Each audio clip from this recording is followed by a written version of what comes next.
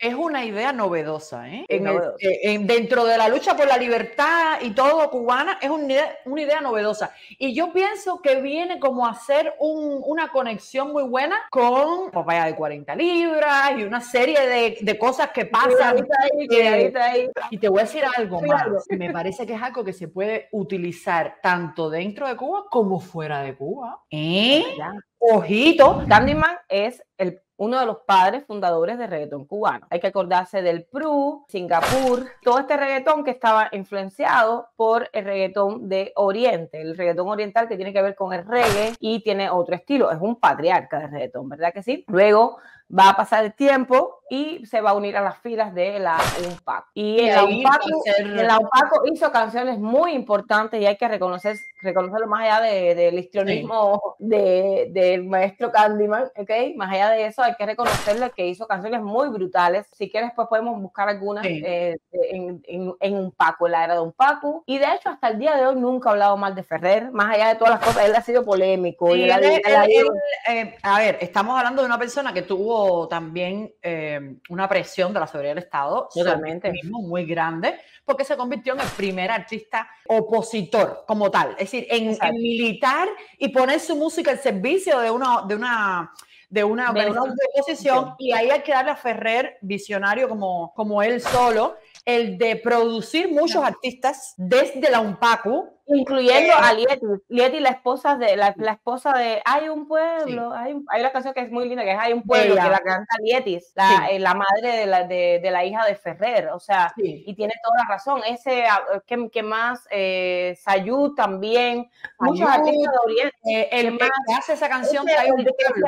eh, tú eres chivatón, no, tú eres. eh, yo sé que tú estás colaborando, que, que después se quita, se quitó, pero son gente que se han quitado algunos de la causa, pero no, ¿cómo decirle? No, no han hablado mal de la, de, de No, la no se han oposición, Y eso es una cosa importante. Tú te puedes cansar en la lucha y eso es válido. O Lo que no es miedo. válido es que te pongas a hablar mierda como Lola, ¿entiendes? No, o como, como, como, como, como, como, ¿me entiendes? Hay una diferencia. El maestro, el maestro Kahneman, como este- estéticamente es muy importante dentro del género, luego hace filas opositoras, luego sale y luego un poco tiene sus momentos de iluminación y sus momentos no de iluminación, por decirlo así. Hay que decir que Candyman estuvo con nosotros en el Freaky One Fest. Quiero decir que fue uno de los mejores espectáculos del Freaky One Fest. Hay que decir que tiene una relación de amor y no amor con, el, con Otaola. Sí. Porque Es está loquito, leyenda, está loquito. Una leyenda, eh, ya yo creo que, que cuando ya a veces uno es una leyenda ya está, no, no creo que mu- de mucho más, pero siempre da, eh, da de qué hablar en algunas ocasiones. Y el Maceito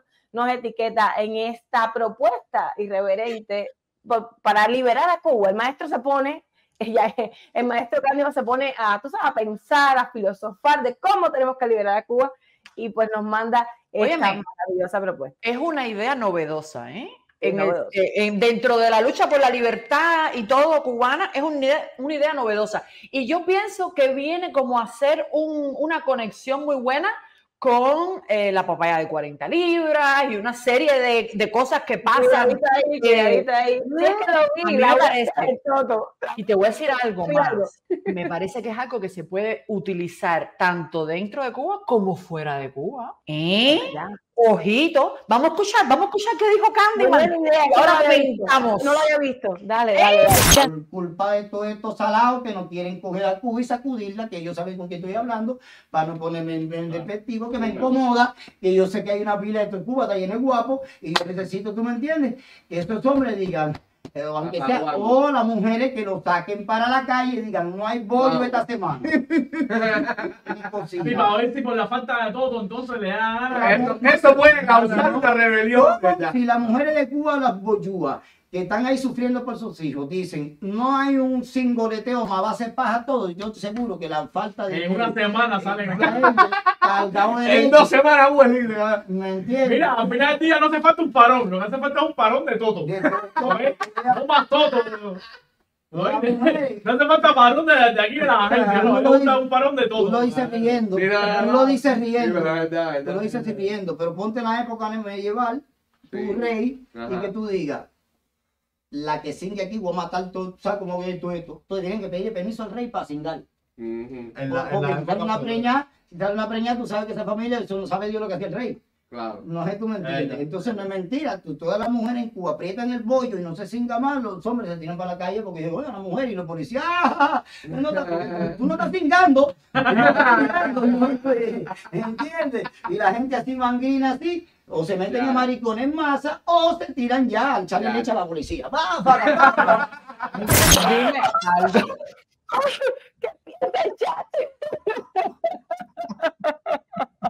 Dice, dice Candyman, ay señor, una- unos niños, es, es muy temprano, son las, yo sé que es muy temprano, empezamos muy Muy heavy, temprano, muy early. I'm sorry, pero pero- wow. los niños. ¿Qué dice el chat? Yo quiero leer el chat porque yo no puedo hablar de esto yo sola hoy. No, no. Mira, dice Reinaldo Díaz, operación cinturón de castidad, mi amor. Angelina ya no puede apretarlo porque lo tiene muy agudo. Señores, estamos hablando de otras cosas. Ay, Dios Dice mío. el Mossad, se nos fundió Candyman. María No, pero te voy, a mostrar, te voy a demostrar que no, te voy a demostrar que No, no. no, no, parece una locura, pero no lo es. Los locos dicen verdades. A los genios a veces se les acusa de locos. La fuente de las mujeres propone una revolución de amor. Candyman lo dijo. Lo en dijo Cuba. a los cubanos. Y ahí vamos. Yo quiero decirte que a mí me parece una gran idea, tengo que decirlo. Si hay pocas cosas que le importan al cubano, mucho, es el sexo. Y siempre estamos hablando de eso, o sea, en el sentido de que decimos, una conversación entre cubanos, un grupo cubano empieza por la comida y termina por el sexo. O la política ahora, ¿no? Que es nuestro eh, deporte nacional. Pero en realidad, de toda la vida, el sexo y la comida han sido como los temas favoritos de los cubanos y los cubanos, eh, eh, eso nos encanta. Entonces, entonces, a mí me parece que si usted quiere mover a los hombres castrados de Cuba, es una excelente idea. Totalmente. Y aparte, yo lo voy a decir así, no debería decirlo porque en la mazamba es que hablamos de estos temas, pero como mujeres cubanas, yo creo, y no sé, me dirán las mujeres que están acá, una aprende desde muy temprano a manipular con eso. Por lo menos uno sabe. Yo cuando, cuando quiero, sí, yo cuando quiero algo, yo, No se hace. Eso no se hace. sí, yo sé que está mal, Eso está uno mal hecho. está mal, uno está mal hecho, pues está mal hecho, pero uno lo aprende.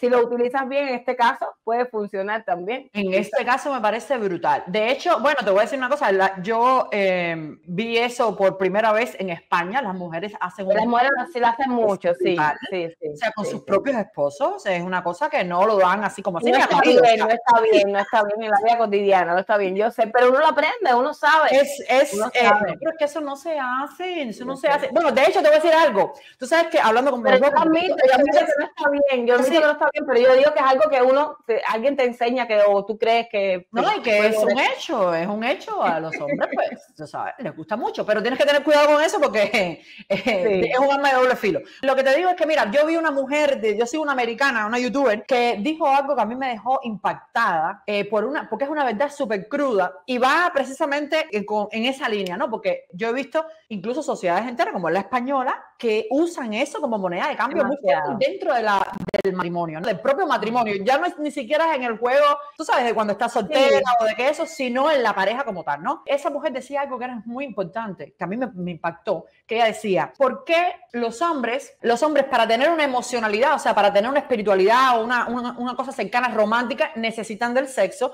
y las mujeres necesitan de la emocionalidad para tener sexo, ¿no? Entonces ahí viene una contradicción y se necesitan intercambiar eso para poder eh, estar como en armonía. Y ella dice, ¿qué buscan los hombres? ¿Qué es lo que más les importa? El sexo. ¿Y qué es lo que más le importa a la mujer? ¿Qué es lo que busca una mujer en la pareja? La estabilidad, supuestamente, ¿no? La estabilidad. Y entonces ella dice, entonces, ¿por qué si cuando tú te casas, ese hombre te provee de tu estabilidad que tú estás buscando, tú no lo vas a proveer del sexo que él está buscando, que es lo que él quiere? ¿No? Y que eh, dice, aquí el, problema de la sociedad está en que la mujer recibe y no quiere dar a cambio por lo que, lo que quiere el hombre. O sea, lo- el hombre te está dando lo que tú quieres, tú deberías darle lo que quieres. Bueno, en fin. Eh, el caso es que me parece eh, genial que las mujeres cubanas digan, aquí no se folla más hasta que no seamos libres. Díganme ustedes qué piensan. Ay, mi vida, estamos a la mazamba. Sí, estamos un poco a la mazamba. Candyman ha propuesto una huelga de sexo para que Cuba sea libre. Dice que para que los, las, mujeres obliguen a los hombres a salir a la calle a protestar pues se haga una huelga de sexo en Cuba. Lo importante aquí, señores, es que parece muy loco esto, pero que históricamente ha sucedido, eh, ha pasado. Es una propuesta real en algunos lugares del mundo, una de las formas de protesta no violenta que han existido. Me dio muchas gracias, señores, porque yo le contaba a Liu que es que lo, es lo que dice, que los locos hablan la verdad, ¿entiende? Como los niños. Entre los que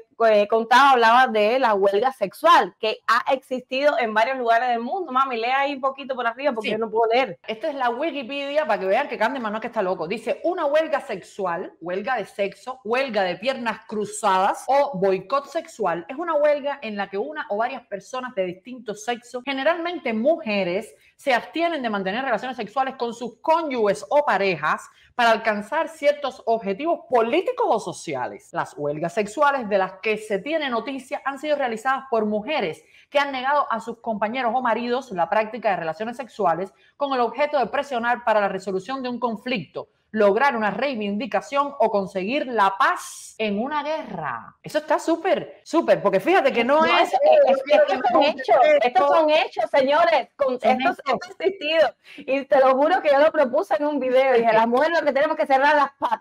Cierra las patas, hija. Cierre la- las piernas, señora. usted va manda remesa. ¿Cuál- por ¿Cuánto mandaste? ¿Cuánto usted mandó por remesa? Pues no. Ay, qué bueno está eso. Nananina tres patines, mi vida. Aquí no vas a ver de pasar.